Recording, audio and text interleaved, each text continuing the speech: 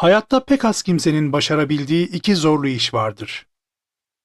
Hem cinsleri arasında tek düşman kazanmadan yaşamak ve etraftan bağımsız olması nedeniyle şu yeryüzünün en büyük